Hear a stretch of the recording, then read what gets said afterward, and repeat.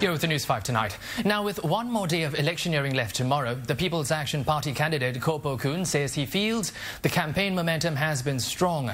Backed by PAP leaders and members during the campaign, Dr. Koh says this exhibits the solidarity of the party. Friday is cooling off day where canvassing is prohibited.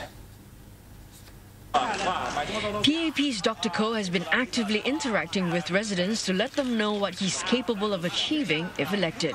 Speaker of the House Halimah Yacob, who turned up to support Dr. Koh's campaign, says he will no doubt help make a difference to the lives of Singaporeans. I'm really confident that if once Poh Koon is elected as a member of parliament, he will pursue those issues with rigor and with great passion because he is a man that believes strongly in those issues, whether it is the elderly, whether it is the poor, whether it is uh, uh, families and children.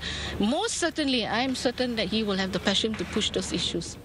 Refuting the opposition's accusations that the ruling party has not provided enough help for senior citizens, Madam Halimah says the government had in fact announced a slew of measures from setting up more senior group homes to offering grants to help the elderly.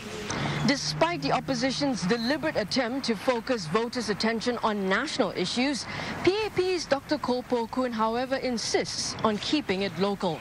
That's because he feels that municipal issues are still of primary concern to residents. However, he says if elected, he'll certainly champion macro issues such as for the elderly and young families in Parliament. Continuing with his campaign, Dr. Koh is heartened to note that residents have warmed up to him considerably. Over the last few days, the visibility for who I am, what I stand for, and what I'm championing has become much clearer. And uh, of course, with the support of the rest of the party members, I feel much more energized, and uh, and it is. I think the momentum is really going very strong.